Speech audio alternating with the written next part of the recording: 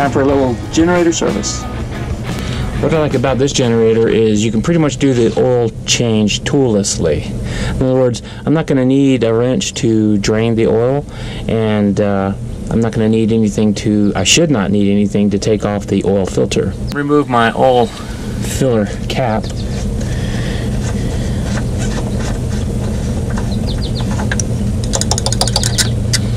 Put that in a place where it doesn't get dirty.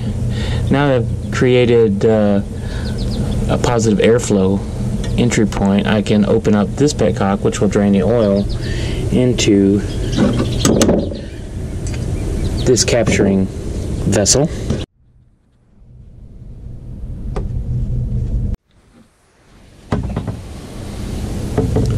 It's only two quarts, got to drain out, so shouldn't have to wait long. Also got to replace the air filter. I have been in some majorly serious windy, dusty conditions uh, over the past month. All over the southwest, Colorado, New Mexico, Arizona. It's been super dusty, super windy. I haven't seen rain since I left Memphis. The air cleaner cover comes off without tools, lifts away just like that.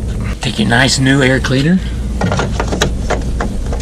put it back in the same way the other one came out. Stay. Once the new air cleaner is in place, take your air cleaner cover and snap it back into place.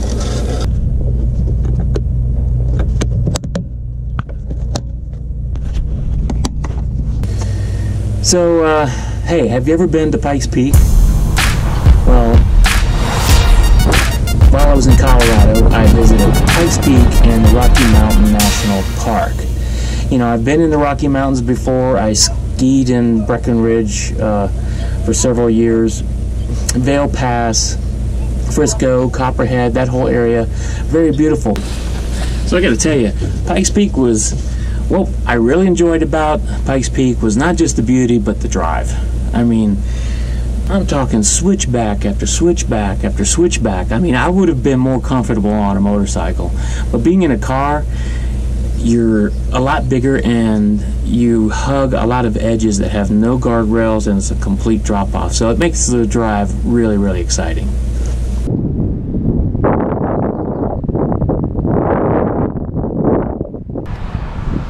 Right at about 11,000 feet or so now, you see there's a lodge behind me, which is kind of cool that you could just kind of pull over and, and uh, have a nice meal.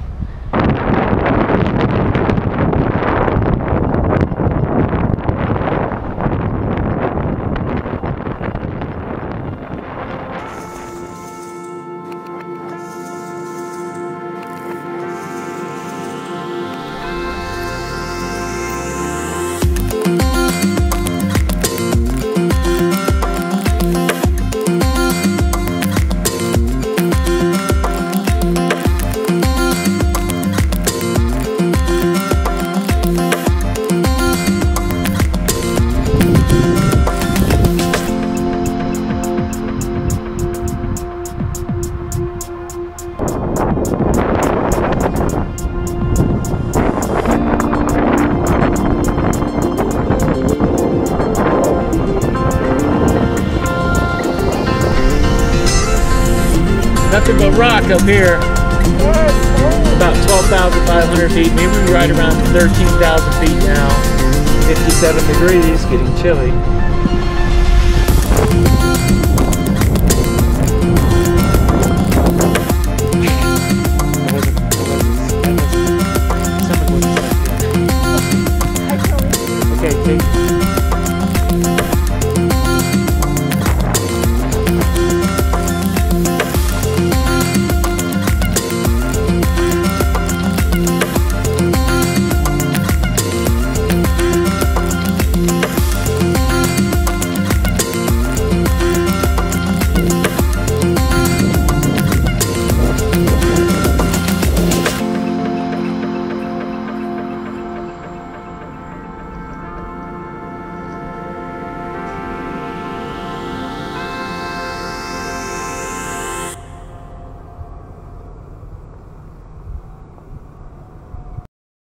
So after removing the oil filter and all of the oil is now drained out. I'm going to install the new oil filter after pouring some new oil into the new oil filter.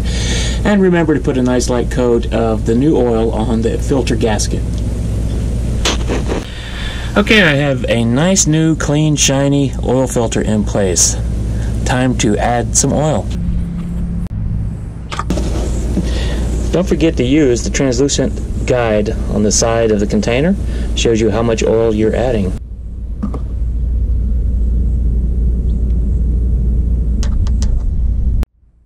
Yeah, so getting to the top of Pikes Peak was um, very thrilling because the dynamics of the environment, the changing of, of going from uh, basically an area with a lot of juniper and pinyon pine to the conifers and now to the aspen level where there's nothing pretty much but tundra and rock and the landing area of the uh, peak or the summit of Pikes Peak is oh man what a lot of tourists and stuff. But once you get off and find a place to yourself where you can actually take some pictures and take in the view uh, it's breathtaking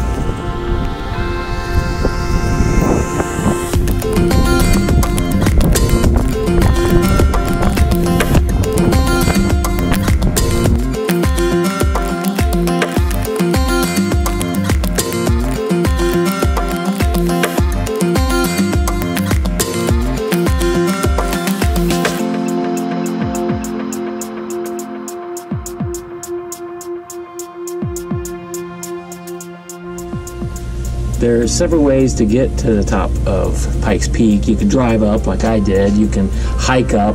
Uh, you can be part of a rally that gets together with motorcycles or three wheelers or bicycles or whatever and ride up that way.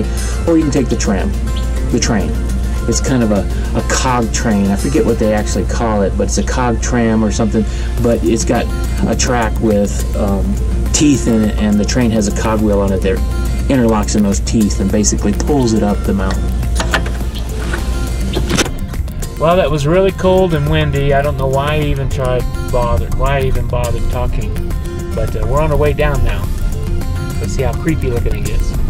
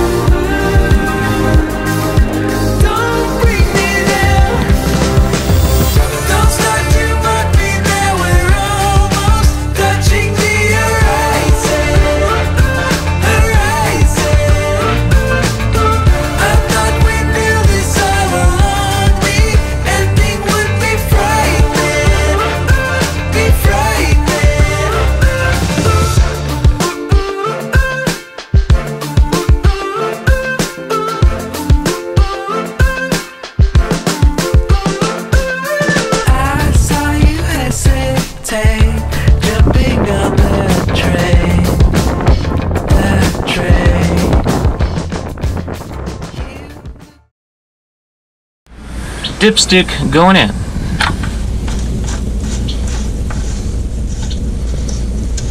level check. We're good. We're good to go. You can see it is not very deep in there. The next thing we're going to check is the spark arrestor, and that is just an area on the muffler that um, tries to reduce or prevent the ability of sparks to ignite in the muffler. Hence, an arrestor. The spark arrestor, of course, is located underneath the generator and actually easy to get to, but make sure that muffler and engine have cooled off or you will burn the. Yeah. Okay, this nut right here is what we have to remove to actually blow the soot out of the spark arrestor. Now, like I've said before, I've been to the Rocky Mountains before. I've crossed it on, I've crossed the Rocky Mountains on motorcycle and actually got caught in a snowstorm in the process. And uh, I used to ski regularly at Breckenridge, but when I went to Rocky Mountain National Park, I had never seen it the way I saw it there.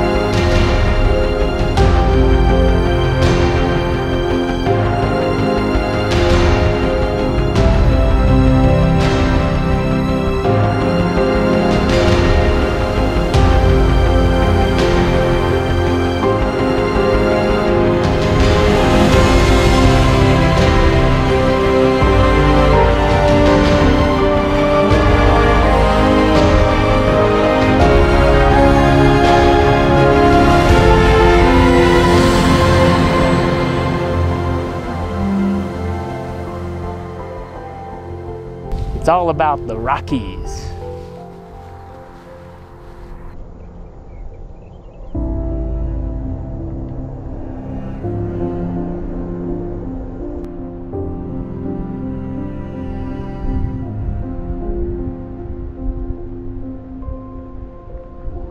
I gotta say again that our country does such an amazing job on maintaining national parks for you to enjoy.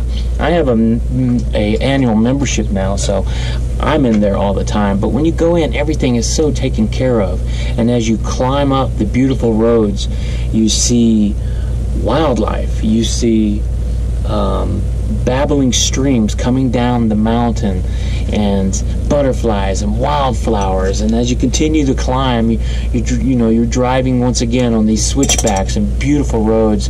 And you watch the, the ecological levels dynamically change before you you know the pinyon pine and juniper areas to the conifers to the alpine at the top.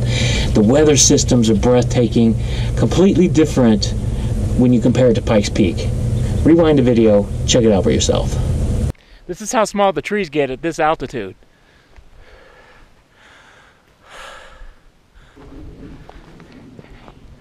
It's like you can make a Godzilla movie here.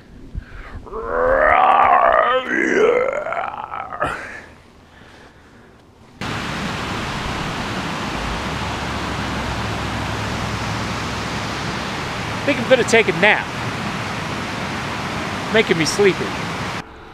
The sun is getting low and it makes for some very interesting photography with the terrain out here. Looking up, these are ponderosa pines. And there's an ocean of conifers. Okay, so the generator cooled off. I have reinstalled the spark arrestor drain plug, whatever you want to call it, back into the generator.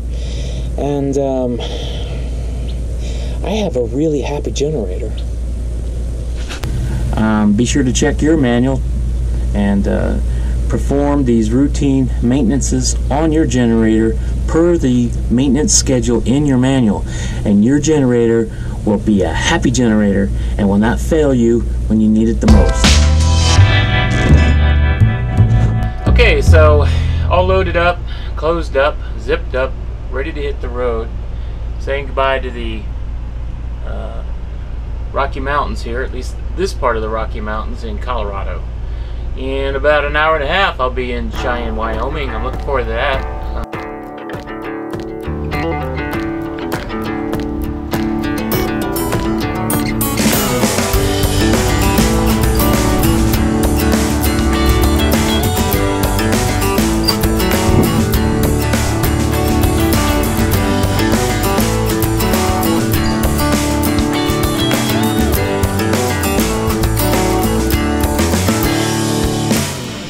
On my way down memory lane. You and me long time ago. And we were teens with tremendous dreams, always playing king and queen. We had set our minds to leave, face the world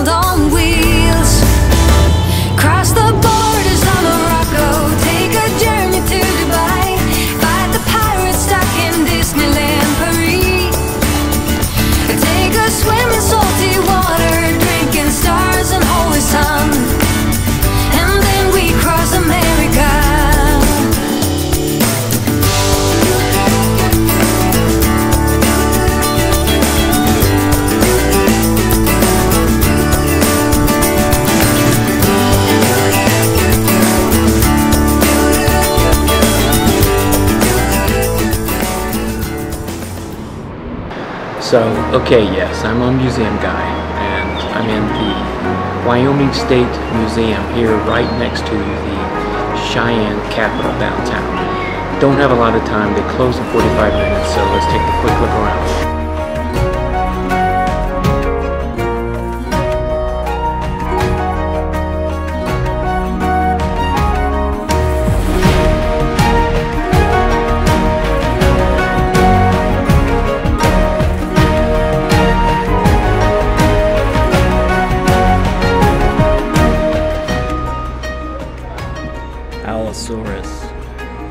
A lot like a T-Rex, but with longer arms.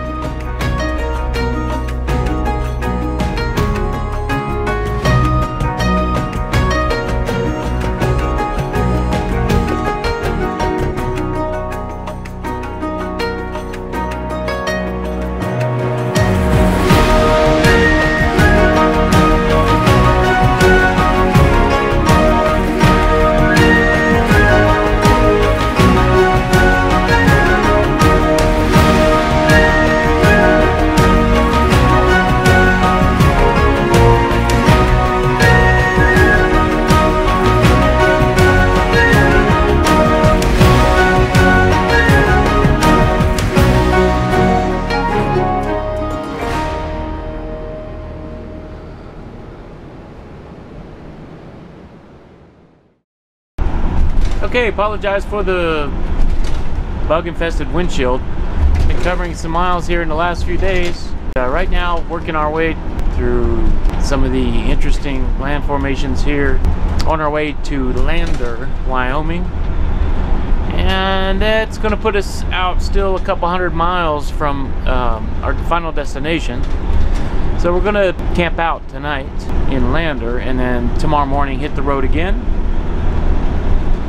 on our way to Dubois. Spend the night there one night, and then from there, next morning, make our way into Teton Jackson Hole area, and hopefully be able to score campsite in uh, an area just right off of uh, Jackson Lake. Okay, we're just outside of Dubois, Wyoming, almost to uh, Teton. Man, Jackson Hole, big little break. Pippi doing a little video.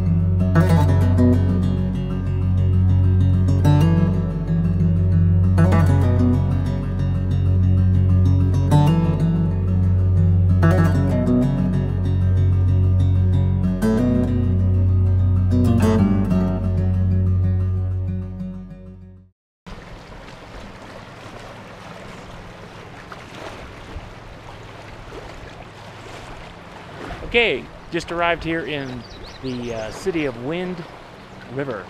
I'm sorry, this is the, this is the city of um, Dubois, and I am at the Wind River, camped out for one night.